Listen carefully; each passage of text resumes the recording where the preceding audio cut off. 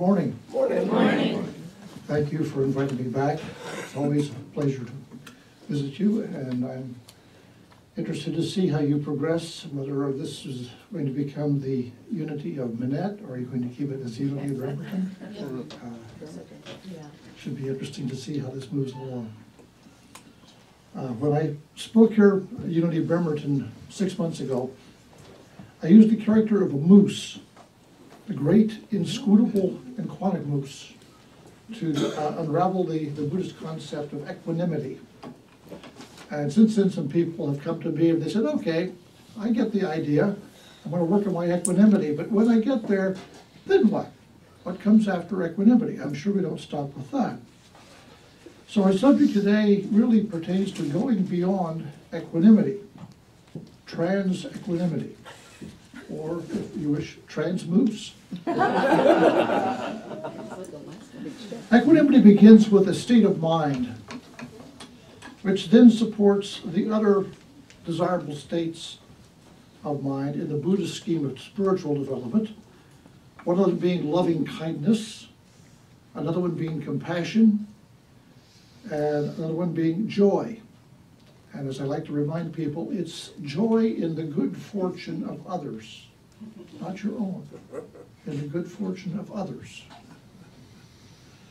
So, as a state of mind, one way to look at states of mind are through brain waves, to take electroencephalograms and instrument the, the mind and see what's happening there. Research goes back at least into the 1970s. Uh, Elmer and Alice Green, a husband and wife couple in Topeka, Kansas, at the Menninger Foundation, began instrumenting gurus and swamis of various kinds. They even went to India at one point and traveled about 7,000 miles through the back roads of India with some of their instruments uh, to find out what was going on in the minds of, of these people who seemed to have some exceptional abilities. Uh, but uh, could they possibly explain that in terms of what the brain was doing or not doing? And one of the ways they look at this was to look at the brain waves.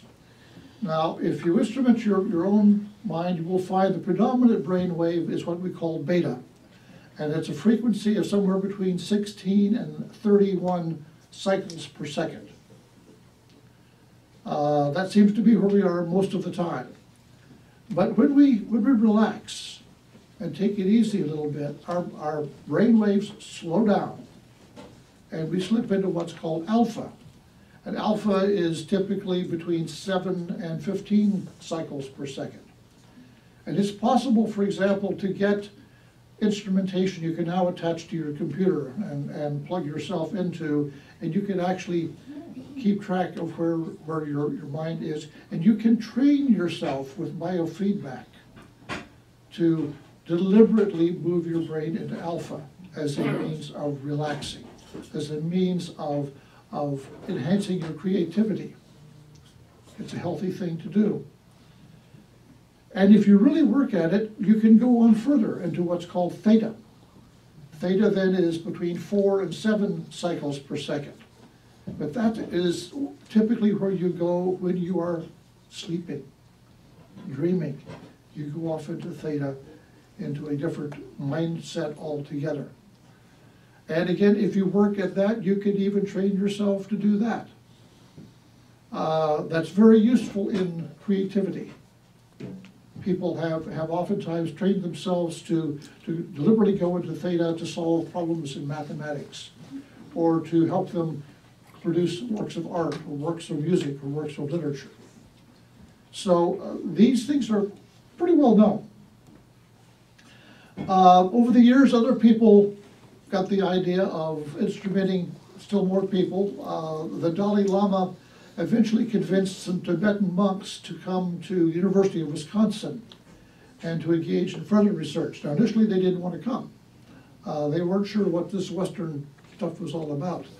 Uh, but the Dalai Lama assured them that they would, they would not be tortured, that they would not lose what they had studied for years to attain.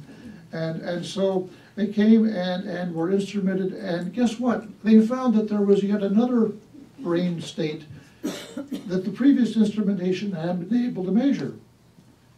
There was a higher frequency that started at thirty-two cycles per second and went all the way up to hundred and fifty cycles per second. And, and Albert Ellis Green in, and Kansas hadn't been able to measure that because their instrumentation just didn't go up there. But they found that these Buddhist monks spent a great deal of time in gamma. And that what was really interesting is that all parts of the brain, or almost all parts of the brain, were engaged in gamma all at the same time. That they, they, there was a coherence, if you will. Everything was working together instead of one going this way and one going that way and so forth. Now, the research is still going on. Uh, If you're interested, I'll, I give you the name of a book later that, that will describe some of the latest things that have been happening. But the interesting part of all of this is that some of the researchers themselves went off and engaged in spiritual practice so that they too, like the monks, the swamis, the gurus that they had been measuring, that they too could enter into different states of consciousness. And so what's happening now is that the researchers, rather than being hard, hard-boiled scientists who were skeptical about what, about what's happening, the researchers themselves are believers and are, are saying, okay, what's happening here? I've gone off, I've learned this, I've, I've become a Hindu, or I've, I've, I've, I've, I've joined unity, whatever. Uh, How is that affecting my mental state? And how does my middle state affect what happens in my spiritual belief?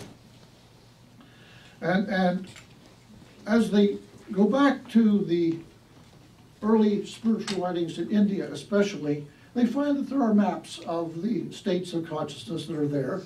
Uh, the Upanishads in particular spell out where the brain goes as you advance in your spiritual development or in simply your states of consciousness. The waking state that we are normally in sitting here is, is beta, but there's then dreaming sleep, the next stage, which is alpha, and then you go to dreamless sleep, which of course is theta. And these, these have been identified in Christian mysticism, they've been identified in Vedanta Hinduism, in Vajrayana Buddhism, Jewish Kabbalah. And the, in their accounts of spiritual wisdom and spiritual awakening. The Man- Mandukya Upanishad in particular describes all of these very quickly and then adds another simply called Turiya, which means the fourth. And that's about all they can say about it, is that it's the fourth, and that they can't really say that much more about it. It is indescribable. It is ineffable. One author says that it is spirit, an essence so ineffable that when one, when the seeing eye perceives it, virtually all that can be reported is that it, it is beyond and more than all that had been encountered before. That's all they can say about it. Now, that state is what is normally called satori or samadhi. And it is effectively a goal of spiritual study that monks and swamis and gurus and mystics of all stages strive to be able to attain essentially at will. And it takes years and years and years to do that. I'll come back to more on the how in a few minutes. But it's not the ultimate. There is a state beyond that, uh, beyond Turiya, called Turiyatita, where you become one with everything. You Remember the Buddhist who told the hot dog maker he wanted one with everything, right? Oh. So you, you become one with God. It is a non-dual state of existence. Instead of you and God, it's just one. And that's all. And that's the ultimate state. That's the goal. Most, if not all religious traditions, say that the path to this is very simple, at least to describe. Three-step path. The first step is purification. You have to purify yourself. You have to, among other things, get rid of your ego, put it under control. And when you have done that, and only when you have done that, can you go to the next stage, which is illumination.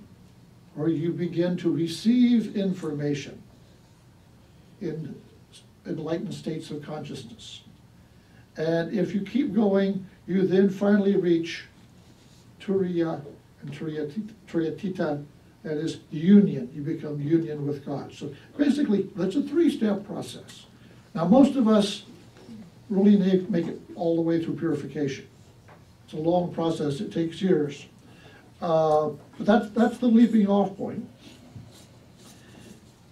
Huston Smith uh, was a writer on religion. Uh, he did the Bill Moyer series of the world's religions on TV many years ago and so forth. And he's my source for a number of these things because he studied all of this in, in the course of his life. He went off to Japan and studied Zen. Uh, he was the child of Methodist missionaries. He grew up in China. He had sort of a different background, but he, he was predisposed to, to go explore these other things in the world. And in talking with one Zen Roshi, uh, he, he was told that that Roshi had experienced Satori only three or four times in his life. And yet that was enough to make him a Zen teacher and Zen leader. So please don't expect that you're going to come out of here and sign up for a, a five-year course and, and uh, hit Turiyatita. It's not going to happen. It is a very rare occurring thing. And essentially, if you make it, you qualify for sainthood. And I- don't mean the New Orleans Saints. I mean, I- But anyhow, th- that experience was enough to convince the Roshi that there is a there there. There is something there that can be experienced, and that changed the Roshi's life. And, and made him aware that there is something, not necessarily an anthropomorphic being like on the Sistine ceiling, but a spirit, a force, like gravity, or even a pervading sense of love. Cynthia Bourgeault says actually it's gravity from above, which I think is an interesting concept to think about. Gravity from above, not one that pulls you down. Anyhow, the world's wisdom traditions are unanimous then in agreement that the first step is purification.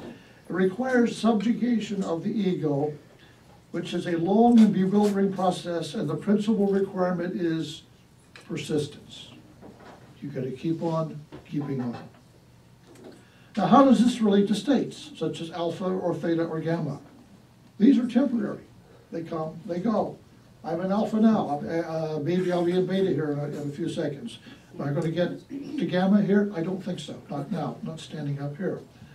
But the research has shown that they really don't have to be temporary. That if you practice them enough and so forth, you could, they can become more, instead of traits, a state, they can become traits. They can be part of, of who you are. And again, this is effectively what you sense when you meet then a sacred person in India or a saint or whatever it may be, that they have attained this level where they're there in this other state of middle state, but essentially all the time. That's where they are. But it takes uh, years of, of long time meditation and practice and so forth. Um, some of the data shows that, that if you've meditated for at least ten thousand hours in your life, you will begin to really begin to progress into the beginning stages of that. Many of the Buddhist monks that, that were instrumental in the University of Wisconsin have meditated for forty thousand hours in their life. Now, if you think you've got forty thousand hours of time to, to give to that yet, you've got a good chance of making it before you die. Uh, but, but again, that's, that's what it's gonna take. Actually, this kind of research has been going on, however, in a few quiet corners of the world for more than a hundred years. I'm sure many of you know William, William James, born in eighteen forty-two, died in nineteen ten. He was trained as a physician, but he never practiced medicine. He instead was a professor at Harvard. He taught anatomy, he taught psychology, and eventually he taught philosophy, where he developed the philosophical perspective known as radical empiricism another topic for another day. In uh, 1902 and 3, he was invited to the University of Edinburgh to give the, the Gifford Lectures, a series of lectures that were endowed there for over a number of years. And that uh, provided the basis then for what he published later as a book entitled The Varieties of Religious Experience, which is a classic textbook that is still worth reading. James investigated mystical experiences throughout his life, leading him to experiment himself with substances that might possibly change his mental state. He experimented with chloral hydrate, with amyl nitrite. He experimented with nitrous oxide, better known as laughing gas. Oh. In the older days, dentists sometimes used that as anesthesia. And finally, in 1896, he took up peyote. He claimed was, that this was the, it was only when he was under the influence of nitrous oxide that he was able to understand Hegel, the philosopher. As if to say, changing your mental state does enhance your brain power, your brain functioning in some way. So James realized that states are naturally occurring states of consciousness, and they can also be artificially in- induced via meditation or other religious practices. And so now we understand that they can result from the ingestion of certain drugs, which we would call entheogens.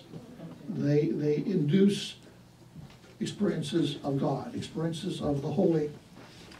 You can take ayahuasca, you can take mescaline, peyote, psilocybin, cannabis, LSD, DMT, ketamine, fentanyl, other opioids, or even common substances like VSOP, which is to say alcohol, or LSMFT, which is to say nicotine, or high fructose corn syrup. Oh, So now let's fast forward again to the testimony of Huston Smith. On New Year's Day, 1961, Smith and his wife ingested mescaline, which is the main substance in peyote that gives it its kick, under the careful supervision of Timothy Leary, a Harvard professor at the time. Smith was a professor at MIT. Leary was a professor at Harvard, which is about a mile and a half down the road. And uh, they had become friends partly through a common friend, Aldous Huxley, who had written a book on the doors of perception. And so Smith was quite interested all of a sudden in, in uh, what would happen if he could, could he have some kind of a religious experience based on taking one of the entheogens that Leary was experimenting with. And so they met in Leary's living room, which is where he actually conducted much of his, his scientific research in those days. And Smith says that, his, uh, that this was the most powerful religious experience of his life. That this has been reproduced and, uh, and cited a number of times in the years since. It forms the basis of a book. I have it back there if you want to see it, called Cleansing the Doors of Perception The Religious Significance of Entheogenic Plants and Chemicals. He wrote that in the year 2000. He had the experience in 1961. A lot of water went over the dam and a lot of research, which he then summarized as a religious scholar who actually had not just talked about it, but walked the talk. Now, the interesting part is Smith did not become a drug junkie as a result of this experience. It was profound, it was life changing. It changed his perception, but it also, in a sense, changed what he understood his religion to be all about. You start out as a Methodist and you wind over, over here, that's pretty powerful, right? So what he learned is that what he experienced with mescaline is closely comparable to genuine mystical experience. Closely comparable. But the pharmaceutical research and modern medicine practice has demonstrated that there are all sorts of drug experiences that have no religious significance whatsoever. So what's the difference?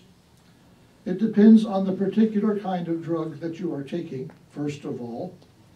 If you've ever had general anesthesia for cataract surgery, or dental surgery, or colonoscopy, I've had all of those, you've probably had some of these drugs in the cocktail that the anesthesiologist or the doctor gives to you, and even other procedures. If you've ever required sedation by the, the, the EMT bus that hauls you off to the emergency room, you probably had ketamine. Ketamine was discovered in 1962, first tested in humans in 1964, and was approved for use in the United States in 1970. Shortly after that, it became the drug of choice for surgical anesthesia in Vietnam. It's uh, on the World Health Organization's list of essential medicines. It's one, uh, which is the list of the most effective and safe medicines needed in a health system, even though it was placed on the list of controlled substances in 1999. So here we are with something, there's a list of controlled substances, but you can also get it from your local EMT if he thinks you need it to get you to the emergency room safely. Interesting. It's now available as a generic medication. The wholesale cost in the developing world is between eighty-four cents and three dollars and twenty-two cents per vial. Oh. It's not expensive. I don't know what they charge for it, but that's, that's the wholesale cost. I've seen ads where the price was four hundred and ninety-five dollars. Ooh. A little bit of Yes, we have a pharmaceutical industry. There's, there's more. Recent medical research in the past six months has, has disclosed that, that ketamine is an effective treatment for PTSD, for obsessive compulsive disorder, for neuropathic pain such as fibromyalgia, for depression, and especially for suicidality. It's been found to be more effective than Prozac, quicker acting and more consistent results. That's dangerous. So, uh, very interesting that, that this, this drug is out there. As you might expect, ketamine is also used as a recreational drug. Some of the street names are K, Special K, Super C, Cat Valium, Jet, Super Acid, and Green. And because of its ability to cause confusion and amnesia, ketamine can leave users vulnerable to date rape. So it is commonly used out there on the street. But to return to the basic question of religious experience, everybody seems to agree there is no such thing as the drug, ketamine, fentanyl, whatever it may be. Fentanyl, of course, is what killed Michael Jackson. Uh, there's no such thing as the drug per se that covers all the bases, that works for everybody all the time. Every ex- experience is a mixture of three things. First of all, yes, what drug are you using? Secondly, the set, which is the psychological makeup of the person. If the person is obviously inclined to psychosis, chances are the drug is going to take them deeper into psychosis, and you may not want to mix those two. And then third, the setting. What is the social and physical environment in which the drug is taken? Are you taking it at home in your living room? Are you taking it in Timothy Leary's living room? Are you taking it in a Native American church service? So the set and the setting are important. And Huston Smith says the research statistics are like this. One-third to one-fourth of the general population will have a religious experience if they take some of these drugs under conditions in which the researcher simply supports the subject but does not interfere with what is happening. The chances are twenty-five to thirty-three percent you will have such an experience. But if you have strong religious proclivities, which I presume means you because you're here, your odds go up to seventy-five percent. Just by the expectation of what you would have. And if you take the drugs in religious settings, such as say the Native American church, ninety percent will have the experience. So, in effect, maybe this is the placebo effect that, that you're really getting here. It's not altogether clear, but then we don't understand the placebo effect very well either.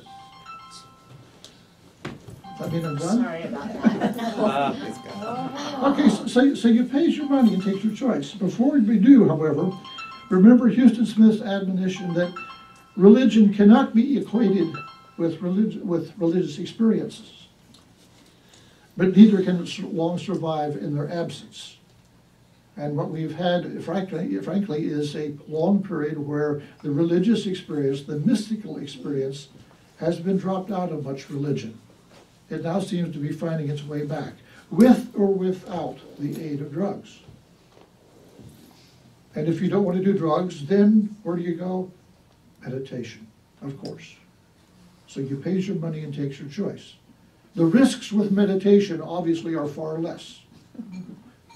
And the Fortunately, the laws governing it are virtually non-existent, whereas with the entheogenic drugs, there are all sorts of medical laws, some of which make sense and some of which do not. So, then how do we get there with meditation? Well, the, one of the Upanishads says the sequence is something like this. Step number one is awareness. You have a process of deepening self-acceptance. No judgment, just equanimity. You focus, you're focused and calm, and you are observing yourself and what is happening around you. In particular, observing what is you and what is not you. So you observe your breath, you observe the rest of your body, you observe your thoughts, your mind will wander, and so you patiently keep returning to looking at yourself again. Uh, What we did with Vipassana meditation, uh, the uh, uh, Goenka, the guy who founded all the Vipassana centers, kept saying, start again, start again, start again. And so again, persistence is very much the the quality that you need. But as, as you move along, you will begin to separate out what is you and what is not you. And you will begin to understand the idea of craving things that you want and aversion, things that you don't want. And of course, the Buddha says those are the two things that are the sources of suffering, craving and aversion. And so you begin to get a handle on what really is making you tick to some extent. Then you move along, having had some, some experience then of where you begin and where you end and what is really not you after all, then you begin to also understand how your being affects others and what's going on there, which leads you more into compassion. Finally, we have moved towards freedom. Once the experiences become more vivid, they also become more baffling. There is uh, what's called unknowing perplexity. And frankly, it requires equanimity to understand this. It says the answers are just not there. You have to accept that you're not going to have complete answers, but you keep on going anyhow. And step five, finally, is what's called imaginative creation. This is not problem solving. This is not doing your income tax mentally as you're meditating. It is self-creation of, again, imagining not only who you are, but who you can be, uh, that what you are becoming. Most of this is purification. It's hard to, to really sort of, in, in going through the sequence, to say this is where purification stops and illumination begins, because it, the purification melds on into illumination. So it circles around, but the main thing is that we become aware of our awareness. Think of that. We become aware that we are aware. We become aware of this thing that is watching us. It's like, uh, who's the watchbird? Who is the watchbird? Who is watching the watchbird? And, and on, on it goes. So this, this eventually takes you what's called insight. And so some versions of meditation are called insight meditation. That's really what it's all about, which is the beginning of illumination. And again, if you get this far, you should be closing in on the goal. Buddhists will tell you that the goal of, of enlightenment is not happiness. Peace, maybe, or bliss, as in extreme equanimity, or detachment. Definitely, it is the end of our delusion, but it's not really joy, per se, not really happiness. It's peace. As Huston Smith has noted, we have it on good authority that no man can see God and live. And so, in reality, you're probably not going to make it all the way, but at least you can increase your bliss by persisting in this, this meditative path. So you may ask, how do I find this path and having found it, stay on the straight and narrow to the end? And the consensus answer is that you need a teacher. Someone who has gone before you and knows the joys and successes and the sorrows of failure. But even that is not that simple. When the Buddha died at the age of 80 in the year 483 BC, his final words to his followers were, Be lamps unto yourselves. Work out your own salvation with diligence. What he was saying is that the point will come where you will have to break with your teacher. That following a prescribed path will not work.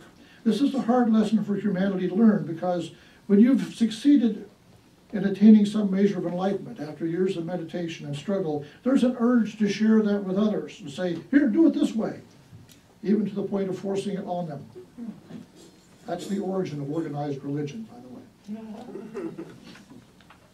When we get to the admonition, which is attributed to Lin, Lin- Linji Yixuan, the ninth century master who founded the Rinzai sect of Zen, he says, when you meet the Buddha on the road, kill him. This is, this is a famous koan of, of Zen. Now, some of you may be aware that I wrote a book, a novel. Actually, it's a self-help book disguised as a novel, a didactic novel, one that's intended to teach. I'm of the opinion that most nonfiction self-help books never get read more than halfway through. So I read a story, part fiction, part fact, I hope will hold the read- reader's interest long enough that they will read all the way through it. One subtext of the story is that a person can perhaps stumble innocently and unintentionally on the path to enlightenment. Thus, the main character in my book almost accidentally develops a relationship with his landlord's pet duck, Abigail, who seems to guide him intuitively as he attempts to sort out his life. And almost all my readers will tell me that Abigail is the most beloved story, character in my story. But unless they read almost all the way through to the end, they will not have discovered the secret, which, I, which I'm now going to share with you. In chapter 79, Abigail is killed, murdered, brutally. Almost all my readers frown and say they were upset by that. I even had an email from one of you asking about that. Mm. That was my intention. A few will add that they know this is important to the, to the story and there's a lesson to be learned from it, but they can't say exactly what it is. And that's what I'm back here to share with you today. Now you know. You're supposed to kill your duck or your Buddha by gathering the courage to send a termination notice to your teacher, therapist, minister, or your resignation notice to your church, 12 step program, or discussion group, all in the name of enlightenment. You have eventually to understand that they cannot answer all of your questions, that you and you alone are responsible for your own enlightenment. But again, Remember Huston Smith's admonition, religion cannot be equated with religious experiences, but neither can it sur- survive long in their absence. So you'd have to completely send in your permanent resignation notice. Just don't, don't expect the teacher to do it for you. You have to work it out for yourself. So what to do? Is there anything beyond all this, say trans enlightenment? Well, here's what one psychoanalyst, Sheldon Kopp, wrote in a book in 1972. There's some sexist language of that era, so I apologize for that. His book was entitled, If You Meet the Buddha on the Road, Kill Him. This is a psychoanalyst writing. Everything is just what it seems to be. This is it. There are no hidden meanings. Before he is enlightened, a man gets up each morning to spend his day tending his fields returns home to eat his supper, goes to bed, makes love to his woman, and falls asleep. But once he has attained, enlightenment, then a man gets up each morning to spend the day tending his fields, returns home to eat his supper, goes to bed, makes love to his woman, and falls asleep. Hmm.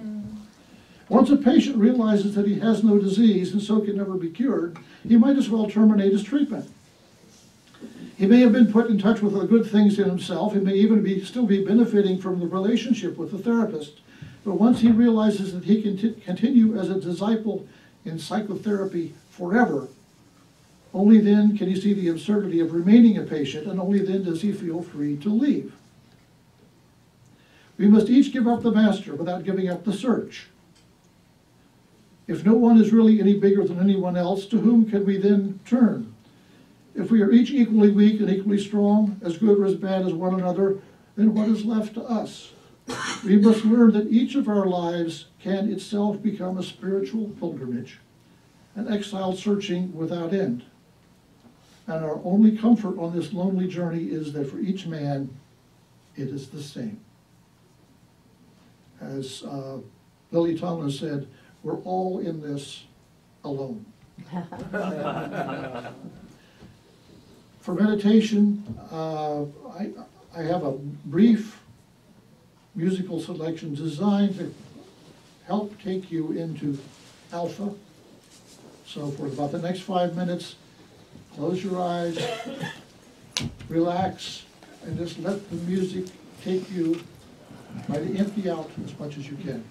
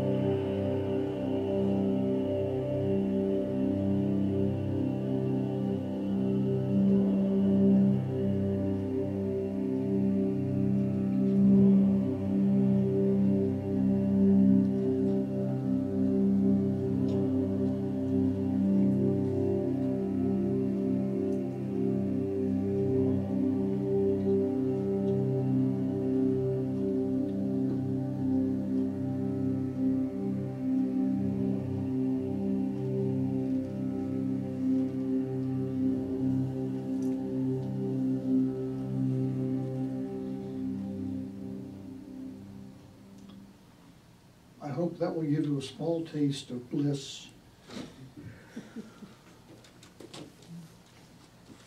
And you've got the ball from there. Parting thought from Plato in the Phaedrus, a couple thousand years ago. The greatest of blessings come to us through madness, when it is sent as a gift of the gods. Heaven-sent madness is superior to man-made sanity.